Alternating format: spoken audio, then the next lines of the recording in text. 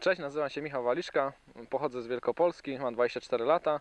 Od miesiąca y, mieszkam na Śląsku, w, Tychach, pracuję w firmie Daxon, jestem odpowiedzialny za współpracę z zagranicą. E, Karpie łowię od, tak na poważnie, gdzieś tam od 5 lat, a w zasadzie wędkarstwem już, już jakieś 10 lat, od, od małego dziecka jeżdżąc z wujem, poznawałem uryki tego fajnego sportu.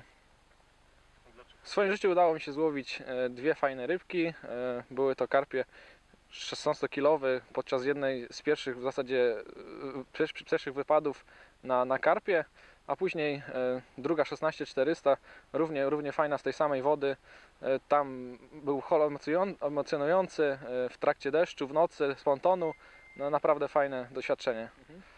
Moim ulubionym stylem wędkowania jest łowienie z wywózki, aczkolwiek w ostatnim czasie coraz więcej poświęcam na, na doskonalenie łowienia z rzutu, ponieważ uważam, że e, no tak się zaczynało i, i, na- na, dzień dzisiejszy są duże braki, jednak e, wszyscy nauczyli się wygody korzystając z łódeczek, z pontonów, a, a zapomnieli jak, jak tak naprawdę skąd się to wszystko wzięło i, i gdzie jest początek.